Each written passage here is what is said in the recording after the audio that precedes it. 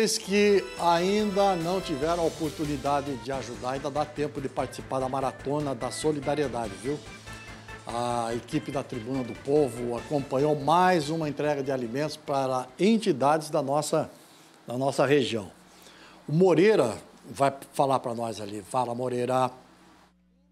Hoje nós viemos em um local que já é bastante conhecido, já viemos outras vezes aqui, mas desta vez a nossa missão é mostrar o trabalho da Maratona da Solidariedade. Jonathan, olha que imagem linda, olha quanta comida em dias de tanto sofrimento para algumas pessoas que necessitam, é claro.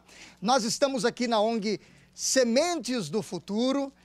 São cestas que foram doadas por uma empresa, a Multilog, aqui de Joinville, que atua aqui na cidade. A dona Thelminha está feliz da vida aqui com essa quantidade de comida, famílias que vão ser atendidas.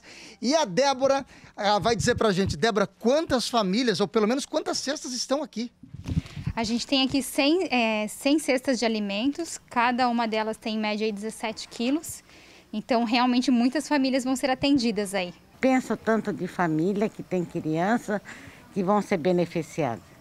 Porque a coisa já era ruim na nossa comunidade. Aí com a pandemia, mesmo que já ganharam ajuda, mas a comida acaba, como vocês sabem, né? A doação aqui foi realizada pela Multilog, que é um parceiro da NDTV na Maratona da Solidariedade, é, e ele teve essa disponibilidade de doar é, 200 cestas ao todo, né? 100 vieram aqui para ONG Sementes do Futuro e as outras 100 para a instituição Padre Faquini, lá no Paranaguamirim.